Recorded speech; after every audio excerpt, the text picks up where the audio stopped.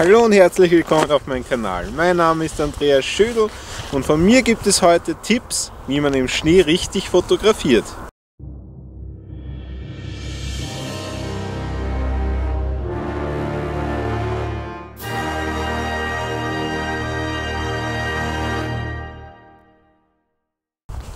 Tipp Nummer 1 ist eigentlich der gleiche wie bei Kälte.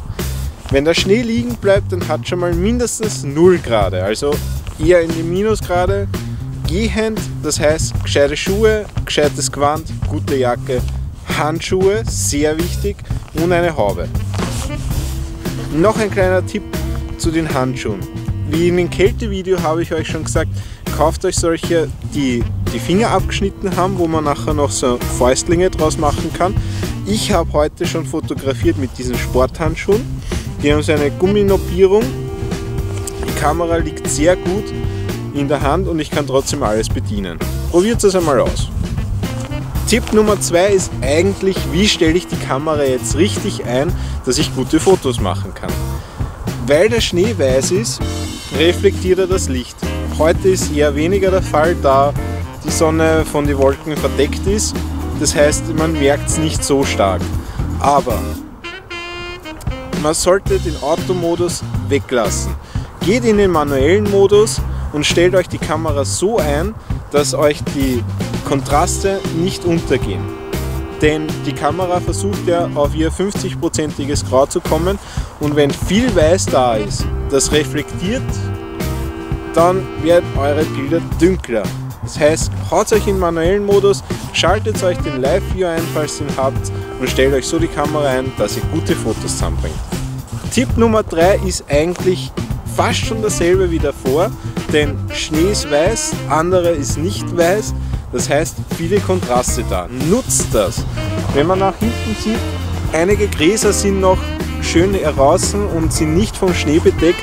Das sind kleine Blickfänge. Nutzt das in euren Fotos, schnappt euch den Eyecatcher, was nicht weiß ist.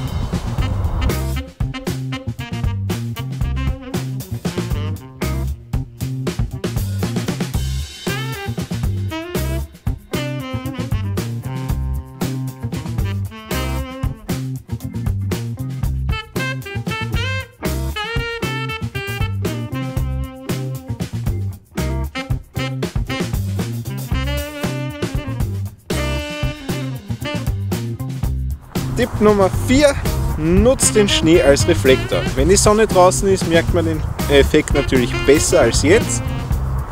Aber äh, wenn man das Modell oder euren Partner, was auch immer, was ihr fotografieren wollt, tiefer am Schnee platziert, dann kann man da hinten, also da unten gut die Schatten aufhellen und ihr braucht keinen Reflektor mitnehmen. So, Tipp Nummer 5. Falls ihr das Glück habt und es schneit noch, Achtet darauf, dass eure Kamera Spritzwasser und äh, staubgeschützt ist oder das richtige Objektiv oben ist, dass das begünstigt. Weil nicht, dass euch nachher doch ein paar Wassertropfen reinkommen.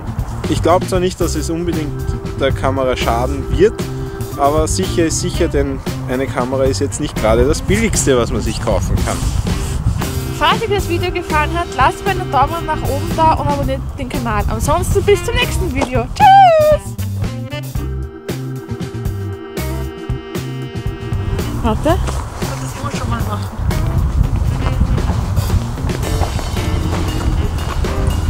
Okay, danke. Meine Frauen, meine Damen und Herren.